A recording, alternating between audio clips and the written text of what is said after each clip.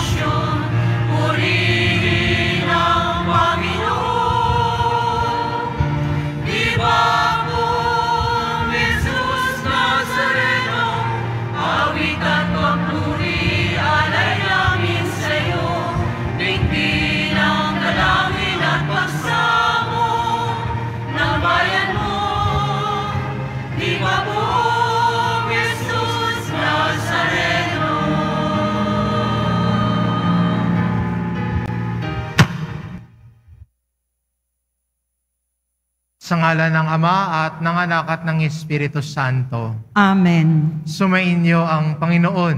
At sumaiyo rin.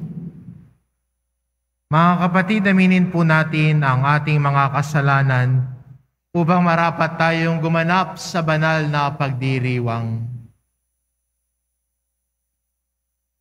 Inaamin ko Sa makapangyarihang Diyos at sa inyo mga kapatid, nalubha akong nagkasala sa isip, sa salita at sa gawa at sa aking pagkukulang, kaya isinasamo ko sa mahal na Birheng Maria, sa lahat ng mga anghel at mga banal, at sa inyo mga kapatid, na ako'y ipanalangin sa Panginoong ating Diyos. Kaawaan tayo ng makapangyarihan Diyos, patawarin tayo sa ating mga kasalanan at patnubayan tayo sa buhay na walang hanggan. Amen. Panginoon, kaawaan mo kami. Panginoon, kaawaan mo kami. Kristo, kaawaan mo kami. Kristo, kaawaan mo kami. Panginoon, kaawaan mo kami. Panginoon, kaawaan mo kami. Manalangin tayo. Ama naming makapangyarihan, niloob mong akuin ng iyong anak ang krus at kamatayan upang ang sangkatauhay mo tubos at mabuhay. Ang pag-ako namin sa krus at kamatayan dito sa lupa, ayon sa diwa ng pagsunod sa iyong loob, na ginanap ng iyong anak ay mapagindapat nawang aming kamtin, ang lubos na katubusan at pagkabuhay sa iyong piling sa pamamagitan ni Heso Kristo kasama ng Espiritu Santo magpa sa walang hanggan. Amen. Magsiupo ang lahat. Pagbasa mula sa sulat ni Apostol San Pablo sa mga taga-Roma. Mga kapatid, tungkol namahan kay Abraham na ating ninuno, ano ang masasabi natin ano ang kanyang karanasan tungkol sa bagay na ito? Kung siya'y pinawalan sala dahil sa mga gawa, may pagmamalaki siya. Ngunit wala siyang may pagmamalaki sa paningin ng Diyos sapagkat sinasabi ng kautusan, Nanalig sa Diyos si Abraham. Dahil dito, siya'y pinawalan sala ng Diyos ang ibinibigay sa taong gumagawa ay hindi binibilang na kaloob, kundi upa. Datapwat, ang hindi gumagawa, kundi nananalig sa Diyos na nagpapawalan sala sa makasalanan at pinawalan sala dahil sa kanyang pananalig. Kaya tinawag ni David na mapalad ang taong pinawalan sala nandi dahil sa mga gawa. Mapapalad yaong mga pagsuway ay ipinatawad na. at ang mga kasalanay napawi na. Mapalad ang tao na ang mga kasalanan ay nilimot na ng Panginoon. Ang salita ng Diyos. Salamat sa Diyos.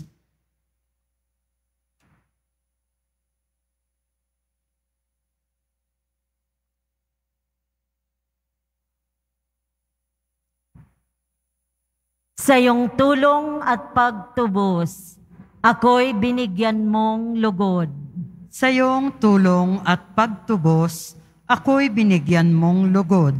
Mapalad ang tao na pinatawad na yaong kasalanan at nalimot na rin ang kanyang nagawang mga pagsalansang. Mapalad ang taong sa harap ng puon ay di naparatangan dahilan sa siya ay di nagkasala at hindi nang linlang. Sa iyong tulong at pagtubos, ako'y binigyan mong lugod. Ako ay lumapit sa iyong harapan at salay inamin. Ang aking ginawang mga pagsalansang, di ko inilihim. Pinagpasyahan kong ang lahat ng ito sa iyo'y idaing at aking natamo ang iyong patawad sa sala kong angkin. Sa iyong tulong at pagtubos, ako'y binigyan mong lugod. Lahat ng matuwid at tapat sa puon, magalak na lubos, dahil sa natamo nilang kabutihang kaloob ng Diyos. Sumigaw sa galak ang lahat ng taong sa Kanya'y sumunod. Sa iyong tulong at pagtubos, ako'y binigyan mong lugod. Magsitayo po ang lahat.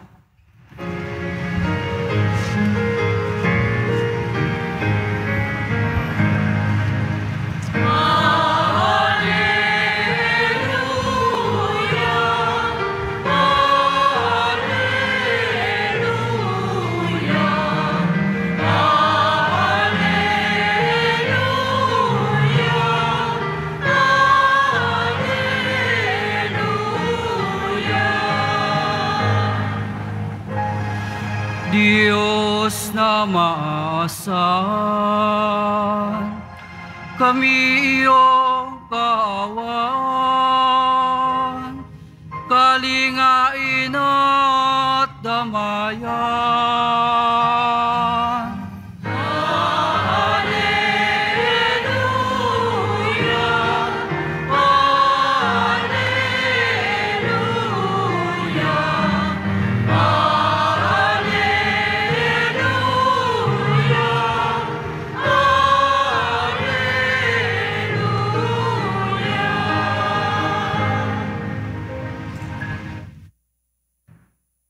Sumainyo ang Panginoon, At sumaiyo rin, ang mabuting balita ng Panginoon ayon kay San Lucas. papuri sa iyo, Panginoon. Noong panahong iyon, samantalang dumaragsa ang libu-libong tao, ano pat nagkakatapakan sila. Nagsalita muna si Jesus sa kanyang mga alagad. Mag-ingat kayo sa libadura ng mga pareseyo. Ito'y ang pagpapaimbabaw. Walang natatago na di malalantad at walang nalilihim na di mabubunyag. Ano mang sabihin ninyo sa dilim ay maririnig sa liwanag at anumang ibulong ninyo sa silid ay ipagsisigawan.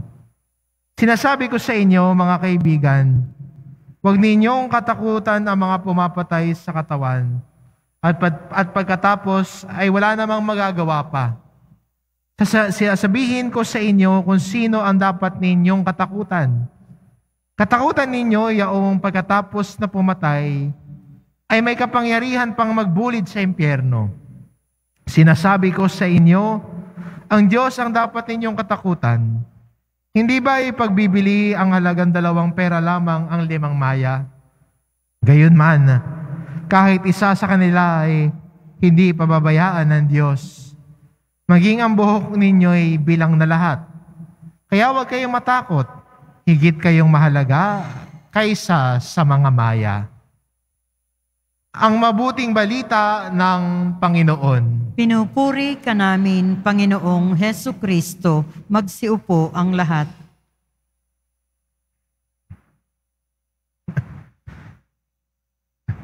Naalala ko po, nauso ho yung sa social media, yung bare face challenge. At ano ho yung layunin ng challenge na yon? Na yung taong naka-makeup ay kukuha ng tissue na basa at pupunasan at tatanggalin yung makeup niya para lumabas yung tunay niyang muka. Sa ating unang pagbasa, si San Pablo din, inaanyayahan ang mga Kristiyano na magkaroon din ng bare face challenge. Kasi tinatakpan nila yung buhay nila sa pamamagitan ng gawa. Tinatakpan nila ang kanilang pananampalataya sa pagpapakain, pagkawang gawa. Wala namang problema ho doon. Maayos nga ho yun. Kung ang pananampalataya ay naisa sa buhay pagkakawang gawa. Pero kung doon lang nakatingin, pero yung pagtrato sa kapwa ay do, ay nalilimutan, kung ang paglapit sa Diyos ay nawa, na isasantabi o nawawalang bahala, masyadong nakatingin sa palamuti. At hindi ba sa panahon ngayon, marami ay nakikita nila yung halaga nila sa pag may nag-post sila, pag nag-post sila, kailangan maraming likes, maraming comments. Kaya di ba, may naalala kong kaibigan lumapit sa akin, Father, ba't di mo nila-like yung post ko? Sabi ko, bakit ko ila-like? Bakit ako magko-comment? Tamad ako mag-Facebook. Minsan yung worth natin bilang tao, dinudugtong natin kung marami nag-like sa post mo. Kaya may mga ibang tao, nalulungkot pag nag-post sila, ilan lang yung nag-like, ilan lang yung nag-comment.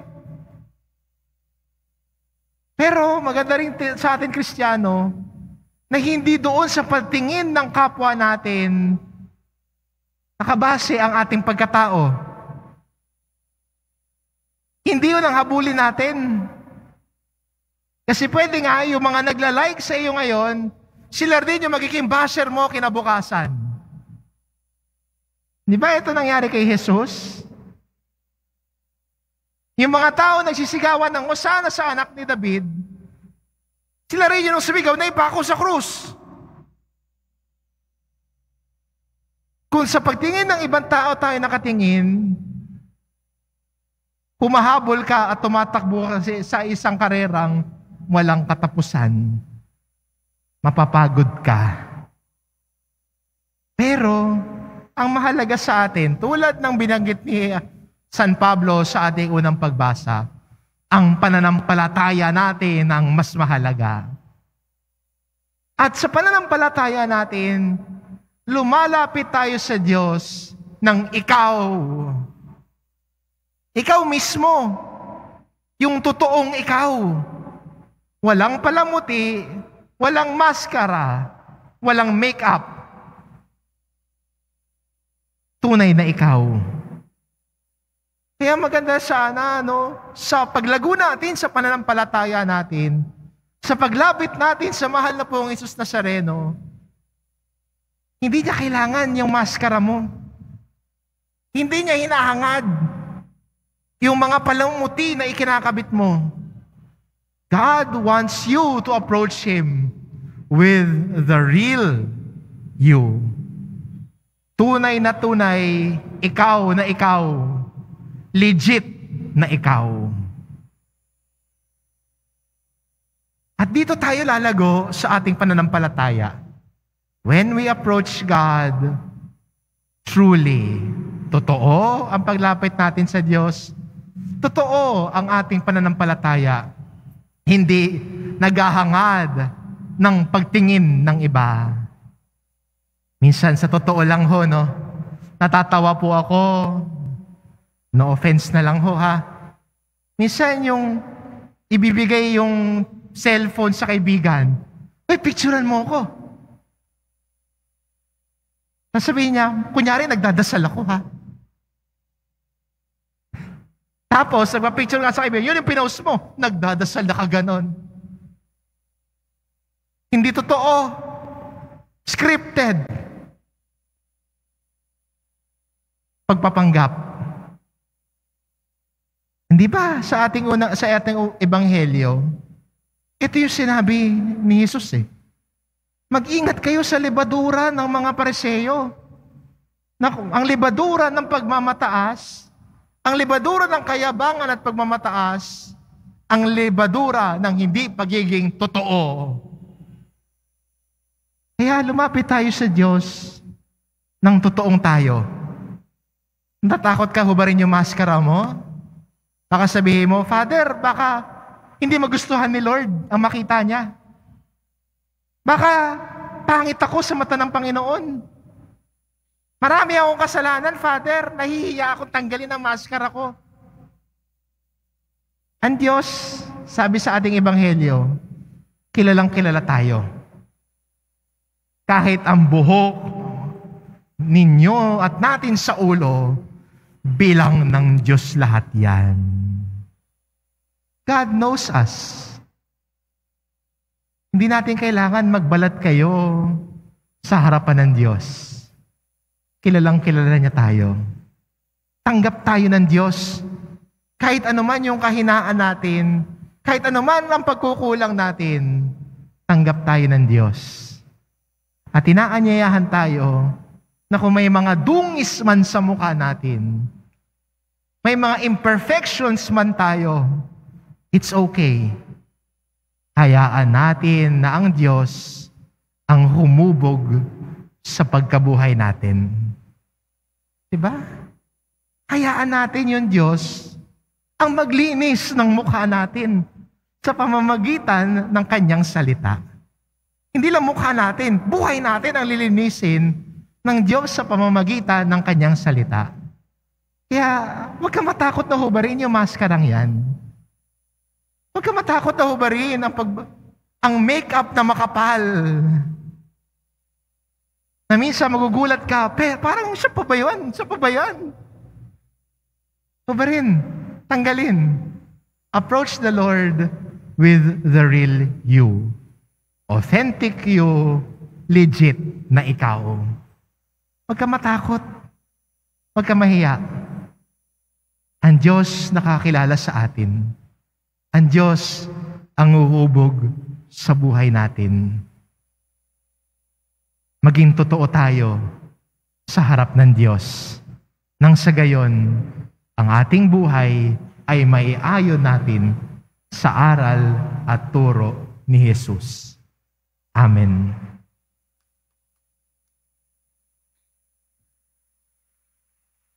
Magsitayo po ang lahat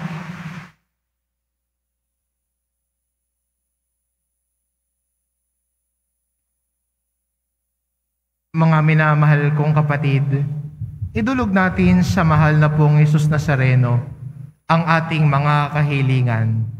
Taglay ang matibay na pananampalataya sa kanyang pagkadyos at tapat na pag-asa sa kanyang kapangyarihan at ang maningas na pag-ibig sa kanyang puso. Ang ating itugon, mahal na pong Isus Nazareno, kaawaan mo kami. Mahal na poong Jesus Nazareno, kaawaan mo kami. Upang ang Eukaristiya na ating tinatanggap sa komunyon at inihahandog sa misa bilang alaala ng mga hirap ng mananakop ay magdulot sa atin ng wagas na pagmamahal sa Diyos at sa kapwa. Manalangin tayo. Mahal na poong Jesus Nazareno, kaawaan mo kami. Upang ang panalangin ni Jesus Nazareno sa halamanan ng Getsemani, na dito'y pinawisan siya ng dugo, ay maghasik sa atin ng pagkahilig sa panalangin na siyang mabisang lunas sa lahat ng karamdaman ng tao. Manalangin tayo. Mahal na poong Jesus Nazareno, kaawaan mo kami. Upang ang kanyang koronang tinik, damit na purpura at krus ay magpaalala sa atin na ang kanyang mga aral at simulain bilang hari ng sanlibutan ay dapat maghari sa ating isipan, angkan at lipunan. Manalangin tayo. Mahal na poong Jesus Nazareno, kaawaan mo kami. upang sa bisa ng kanyang pagpapasa ng krus sa mga lansangan sa Jerusalem, ay matuto tayong makiramay at makihati sa mga kahirapan at tiisin ng kapwa. Manalangin tayo. Mahal na poong Jesus Nazareno, kaawaan mo kami. upang tulungan tayo ng mahal na Birhen, ina ng hapis, na maging tunay na larawan ng kanyang anak sa isip, wika at gawa, nang sa gayon ay makamit ang ating kahilingan sa poong Jesus Nazareno. Manalangin tayo. Mahal na poong Jesus Nazareno, kaawaan mo kami. Ama naming mapagmahal na hayag sa salita, gawa, buhay at kamatayan ng iyong anak, na ang Diyos ay pag-ibig. Maipahayag din nawa namin ang katotohanan ito sa pamamagitan ni Hesu Kristo, Panginoon namin, magpas sa walang hanggan. Amen. Magsiupo ang lahat.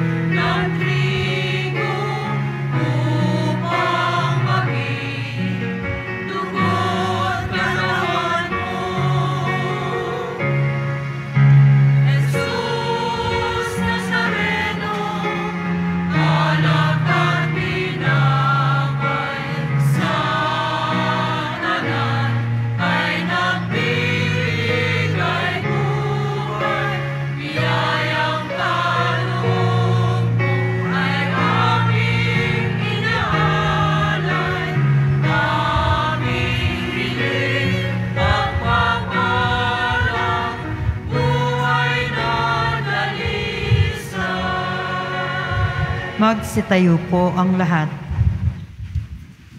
Manalangin kayo mga kapatid upang ang paghahain natin ay kalugdan ng Diyos amang makapangyarihan. Tanggapin nawa ng Panginoon itong paghahain sa iyong mga kamay sa kapurihan niya at karangalan sa ating kapakinabangan at sa buong sambayanan niyang banal. Ama naming lumikha sa ikapagpapatawad ng mga kasalanan, maganap nawa ang paghahaing ito. Na sa dambana ng krus ay siyang pumawi sa kasalanan ng buong mundo.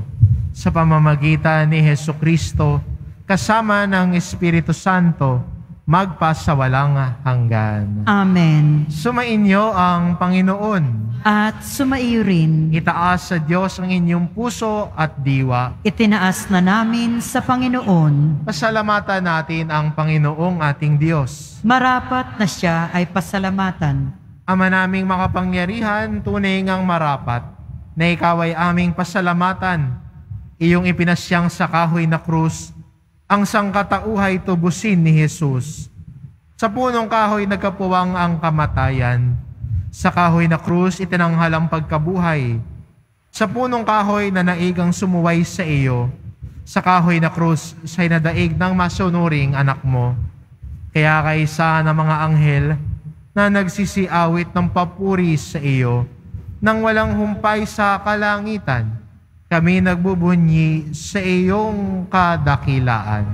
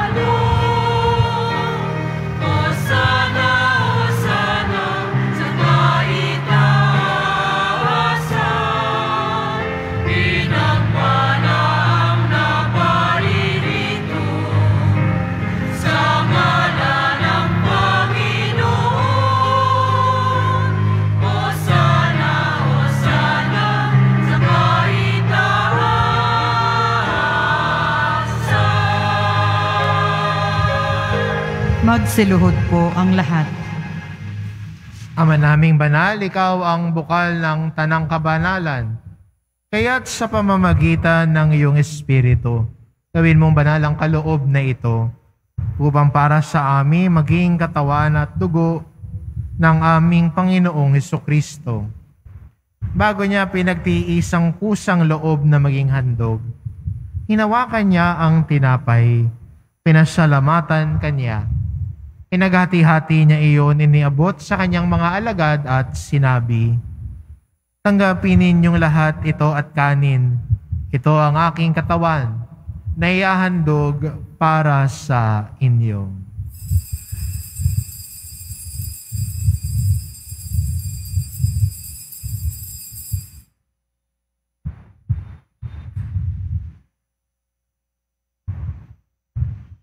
Gayun din naman, nang matapos ang hapunan, hinawakan niya ang kalis, muli kanyang pinasalamatan, iniabot niya ang kalis sa kanyang mga alagad at sinabi, Tanggapin ninyong lahat ito at inumin. Ito ang kalis ng aking dugo, ng bago at walang hanggang tipan. Ang aking dugo na ibubuhos para sa inyo at para sa lahat, sa ikapagpapatawad ng mga kasalanan Gawin ninyo ito sa pag-alala sa akin.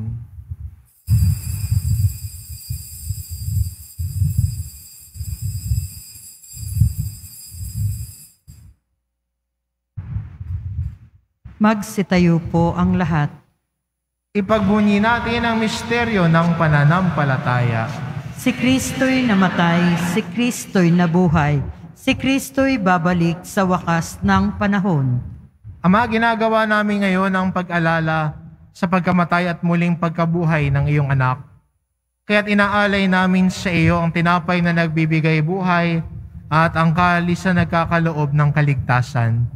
Kaming nagpapasalamat dahil kami iyong minarapat na tumayo sa harap mo para maglingkod sa iyo.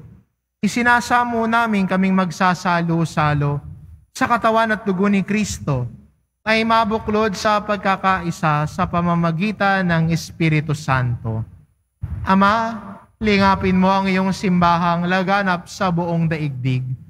Puspusin mo kami sa pag-ibig. Kaisa ni Francisco na aming Papa at ni Jose na aming Obispo at ng Tanang Kaparian. Alalahanin mo rin ang mga kapatid naming nahimlay na may pag-asang sila'y muling mabubuhay ngayon din ang lahat ng mga pumanaw. Kaawaan mo sila at patuloyin sa iyong kaliwanagan. Kaawaan mo at pagindapatin kaming lahat na makasalo sa iyong buhay na walang wakas. Kaisa ng mahal na Birheng Maria na ina ng Diyos, ng kabiyak ng puso niyang si San Jose, kaisa ng mga apostol at ng lahat ng mga banal, na namuhay dito sa daigdig ng kalugod-lugod sa iyo, maipagdiwang nawa namin ang pagpupuri sa ikararangal mo sa pamamagitan ng iyong anak na aming Panginoong Heso Kristo. Sa pamamagitan ni Kristo kasama niya at sa Kanya, ang lahat ng parangal at papuri ay sa iyo, Diyos amang makapangyarihan, kasama ng Espiritu Santo, magpa sa walang hanggan.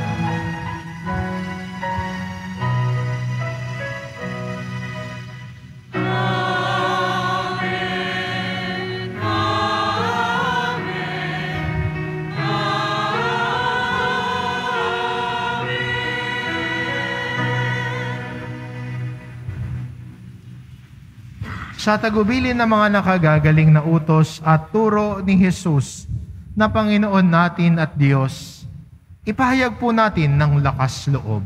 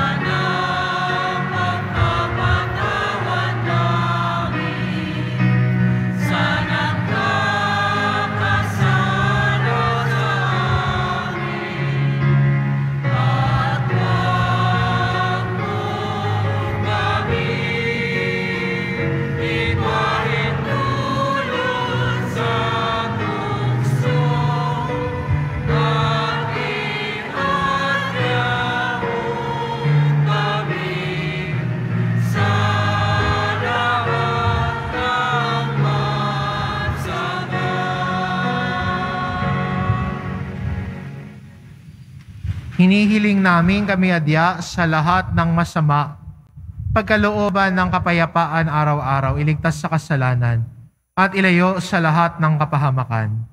Samantalang aming pinananabikan ang dakilang araw ng pagpapahayag ng tagapagligtas naming si Heso Kristo. Sapagkat iyo ang kaharian at ang kapangyarihan at ang kapurihan magpakailanman. Amen. Panginoong Kristo, sinabi mo sa iyong mga apostol, kapayapaan ang iniiwan ko sa inyo, ang aking kapayapaan ang ibinibigay ko sa inyo. Tungayan mo ang aming pananampalataya at huwag ang aming pagkakasala. Pagkalooban mo kami ng kapayapaan at pagkakaisa. Ayon sa iyong kalooban, kasama ng Espiritu Santo, magpasa walang hanggan. Amen. Ang kapayapaan ng Panginoon ay laging sumainyo. At sumaiyo rin. Magbigayan kayo ng kapayapaan sa isa't isa.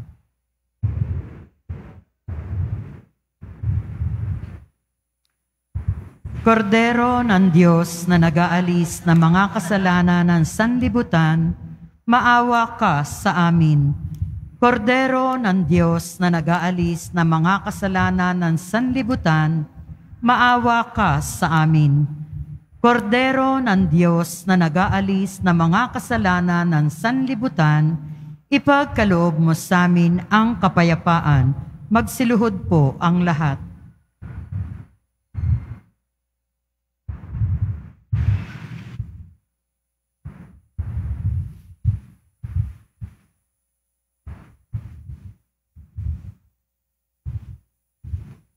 Ito ang kordero ng Diyos. Ito nag-aalis ng kasalanan ng sanlibutan. Mapalad ang mga inaanyayahan sa kanyang piging. Panginoon, hindi ako karapat-dapat na magpatuloy sa iyo, ngunit sa isang salita mo lamang ay gagaling na ako.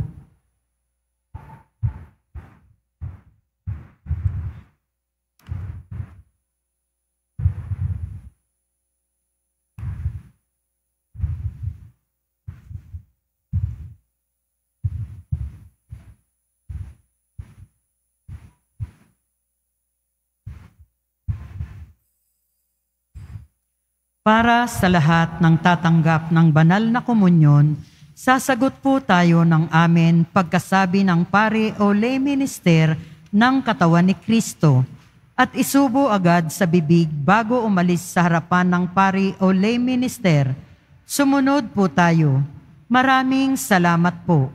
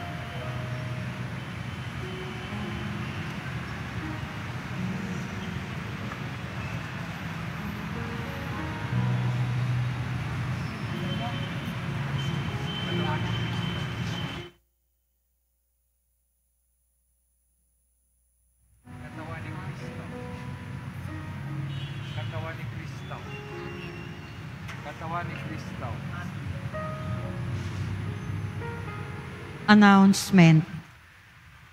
Available na po ang ating mga All Souls envelope. Sa mga nagnanais, maaari kayong kumuha na malapit sa pintuan ng ating simbahan o sa information guard. Isulat lamang po ang mga pangalan ng mga kamag-anak, kaibigan at mga kakilalang na mayapa o sumakabilang buhay na. At sa buong buwan ng Nobyembre, ito po ay ating isasama sa lahat ng mga misa na nagaganap sa ating simbahan. Mga paalala sa mga nagsisimba. Pagkatapos ng misa, wiwisikan po ang lahat ng banal na tubig. Pinakikiusapan ang lahat na manatili lamang muna sa inyong mga lugar. Tanging sa Quezon Boulevard o Plaza San Juan lamang ang labasan ng lahat. Sumunod po tayo. Maraming salamat po sa inyong pagdalaw at pagsisimba sa Basilika Minor at Pambansang Dambana ni Jesus Nazareno. Magsitayo po ang lahat. Manalangin tayo. Panginoong Kristo, kaming nagsalo-salo sa banal na pakikinabang, ay nakikiusap sa iyo na ang nasagip ng kahoy na krus na nagbibigay buhay ay iyong hatid sa pagkabuhay sa kaluwalhatian, sapagkat ikaw ang Panginoon magpasawalang hanggan. Amen. Sumainyo ang Panginoon. At sumaiyo rin. Mahal na pong Isus Nazareno, inihayag mo sa pamamagitan ng krus ang walang maliw na pag-ibig ng Diyos sa sangkatauhan. Pakinggan mo ang kahilingan ng iyong angkan na nagsusumamo sa iyo. Makamtanawa nila ang iyong katugunan at tanggapin ang kasagutan ng may utang na loob na tinatanaw. Basbasan din po ninyo ang mga may daladala nilang imahin at dasalan. Sa pamamagitan ng bendisyon na ito, naway maalala nila ang mga pangako nila noon sa binyag, na ikaw ang kanilang iibigin at paglilingkuran bilang Panginoon magpa sa walang hanggan. Amen. At pagpalain kayo ng ating mapagmahal na Diyos, ang Ama, at ang Anak, at ang Espiritu Santo. Amen. Mayo kayo, taglay ang kapayapaan ng poong Jesus Nazareno. Salamat sa Diyos.